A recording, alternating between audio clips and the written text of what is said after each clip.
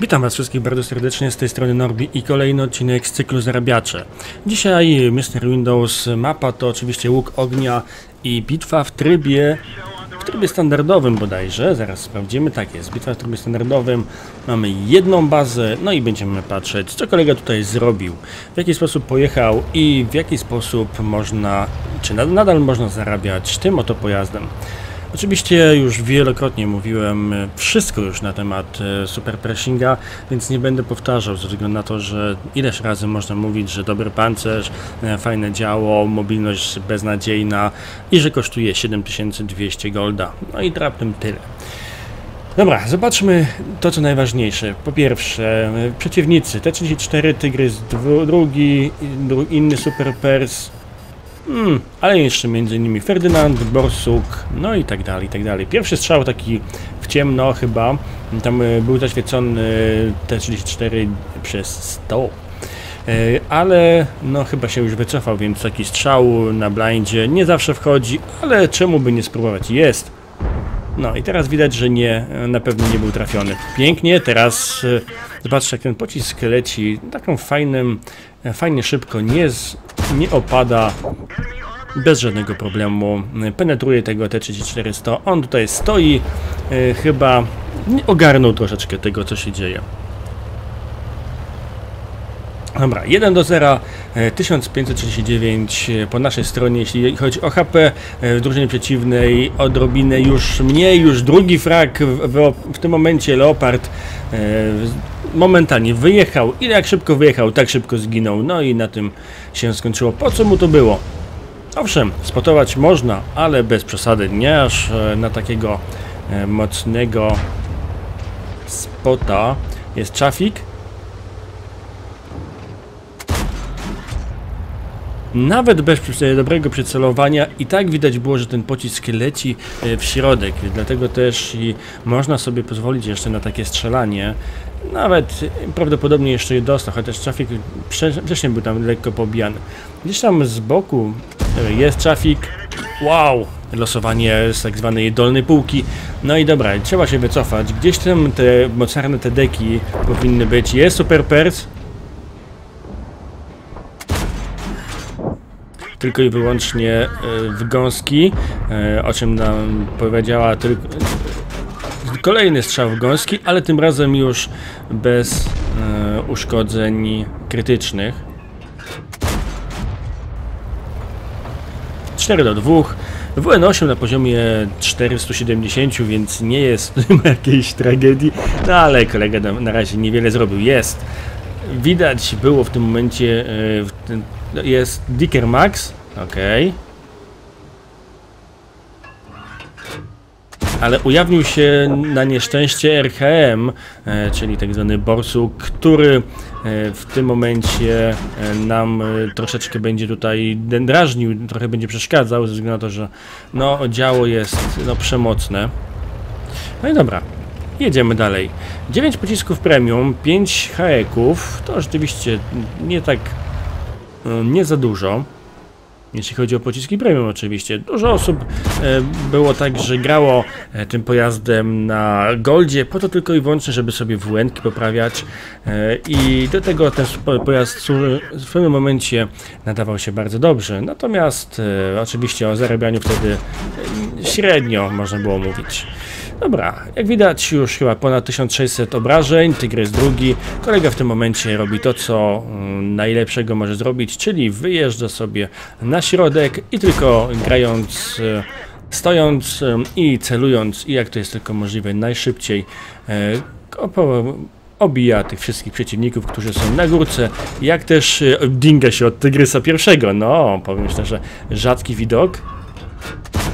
T29 przy tej celności to tak średnio. O, kurczę, w tym momencie odparowany RKM. No i jest już troszeczkę lepiej, e, bo jak widać nasi puszują e, tą całą prawą stroną. Już tam wszyscy pojechali e, ostro do przodu. No i w tym momencie 8 do 7, różnica w HP w dalszym ciągu jednak po stronie, lepiej po stronie przeciwników, no ale no cóż, trzeba działać, trzeba próbować, trzeba kombinować i niszczyć jak najwięcej wrogów. Super Per, zobaczcie. Różnica w Super Persie, jeden wyjechał do przodu, już jest na ogrysku, już y, y, Tygrys go powinien zaraz chwileczkę dokończyć. Ała! Mało brakowało, aby swojego trafił kolega, ale no, na, na nieszczęście e, Tygrys wykańcza Super Persa, no i niestety 9 do 9 e, jeśli chodzi o ilość HP wyrównana, Ferdynand, no trzeba się go bać, ponieważ jest obdarzony jednak zbyt mocnym działem na górce. E, JG Pantera, e, tam jeszcze był bodajże ten T29, coś tam jeszcze. Także trzeba ruszyć się, bo jeżeli oni puszczą tą stroną, e, ten Ferdynand będzie tylko i wyłącznie spotował tutaj, no to nawet nic nie będzie mogło wyjechać ze względu na to, że nasi będą oklepywani z górki. Dobra. No i teraz Ferdynand e, będzie miał troszeczkę problemów. Nie wie za bardzo co zrobić. Jeżeli obróci się na naszą stronę, e, wyjedzie... O kurczę, następny nasz padł. E, to kolega tutaj może się delikatnie zdziwić. Jest tutaj Pantera.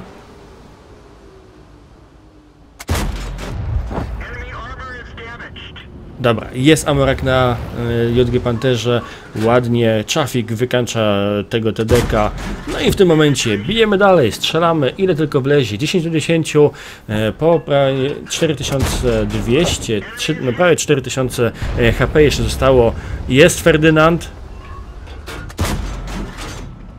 no niestety, teraz się nie udało, jeśli chodzi o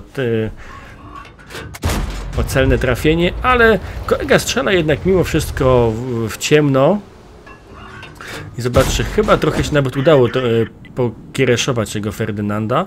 On się tutaj jeszcze teraz tylko próbuje wycofać, ale chyba nie zdąży. I ja pierdziu! 28 HP zostało. No niestety.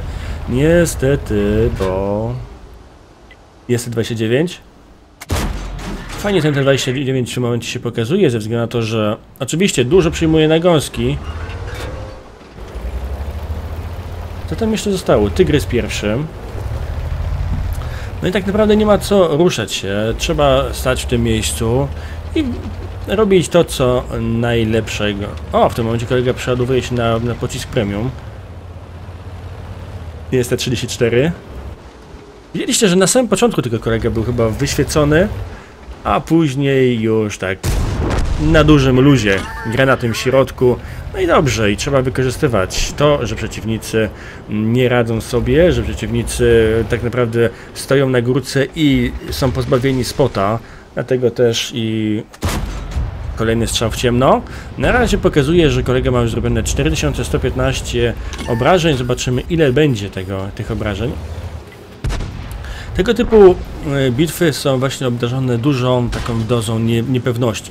Z jednej strony my ich spotujemy, no i, będzie, i bardziej więcej ich widzimy, natomiast jednak oni, będąc na tej górce, są w stanie ostrzeliwać się dosyć dokładnie i jak widać e, ciężko jest cokolwiek im zrobić. Dlatego jest 11 do 12, przegrywamy, ale mimo wszystko trzeba się ruszyć. Tego tygrysa wykończyć.